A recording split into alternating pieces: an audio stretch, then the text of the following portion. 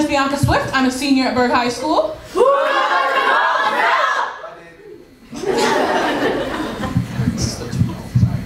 and this poem is called Ancestry.com. I looked myself up on Ancestry.com the other day to try and find my lineage. You know, my family tree, and my family hanging from the poplar trees, my tear gas soaked legacy. You know, my great great great grandma was a slave. And my great great great granddad, he was a slave. And my only real claim to fame is my great great granddad was a runaway slave. and because of this, I find myself claiming other people's histories to try and sound more interesting.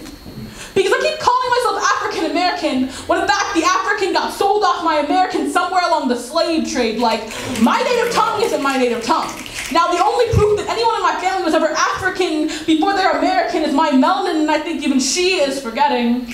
Lightening her tones to forfeiting any claims to the mother that gave her that hue that used to be just as dark as the place I can no longer remember.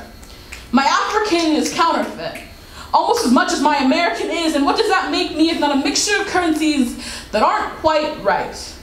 Because both aren't quite white. I tried to find legacy that wasn't cotton picking, sugarcane chewing, hands bleeding, feet bleeding, back breaking. No, I'm sorry, I'm at back whipping. I want to find a green leaf on that website that's not slave. Who came from slave? Who came from slave? Who came from slave ship? And then no further data.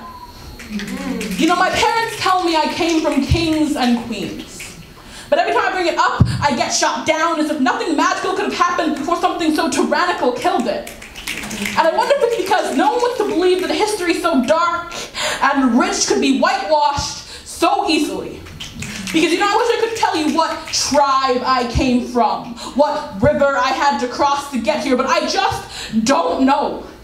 And maybe that's why Ancestry.com keeps calling me a slave. And I don't know what I was expecting to find anyways. Because I'm not what Ancestry.com tells me I am. I'm not even what society tells me I am. I am a queen without a throne. A king without a kingdom, a human without a history. And what does that make me? If not a speck of dust on the very fabric of history. Something else others can convince themselves to forget or ignore. Because, you know, I may not have come from kings and queens, but I come from generations of people who worked their way out of slavery and segregation and racism to make me believe it. And is there anything more royal than having the audacity to write your own story? So sorry, Ancestry.com, but I refuse to to hang from the branches of your family tree.